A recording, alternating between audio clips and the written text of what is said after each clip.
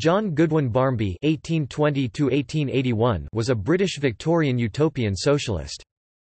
He and his wife Catherine Barmby died 1854 were influential supporters of Robert Owen in the late 1830s and early 1840s before moving into the radical Unitarian stream of Christianity in the 1840s.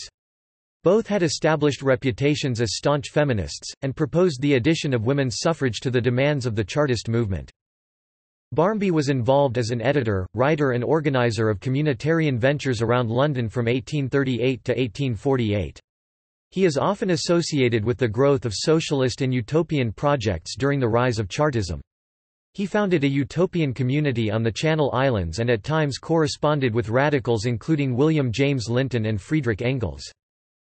John Barmby is also known as the person who claimed to have introduced the word «communist» into the English language as a translation of the French word communist during a visit to Paris in 1840 in conversation with some followers of Gracchus Babeuf. He introduced Engels to the French communist movement.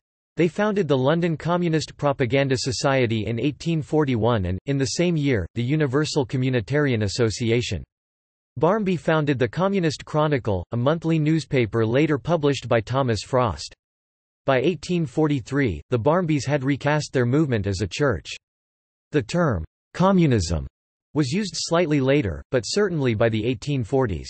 As Donald F. Busky wrote, Barmby may have thought that he invented the words communism and communist, but he was mistaken in all probability. Communist and communism were in use by the 1830s or 1840s. Researchers at Rutgers University explain, Seeking a richer spiritual life than Owenite socialism or Chartism offered, soon after their marriage Catherine and Goodwyn Barmby founded the Communist Church. Although the church expired in 1849, in the mid-1840s it had more than ten congregations. Point 3. In 1848, disillusioned with communism, he became involved with Unitarianism. After leading congregations at Southampton, Topsham, Lympstone and Lancaster he was minister of Wakefield Unitarian Chapel from 1858 to 1879. He continued to contribute to liberal politics, and published poetry and hymns. References Further reading Barbara Taylor, Eve and the New Jerusalem, pp. 172–182.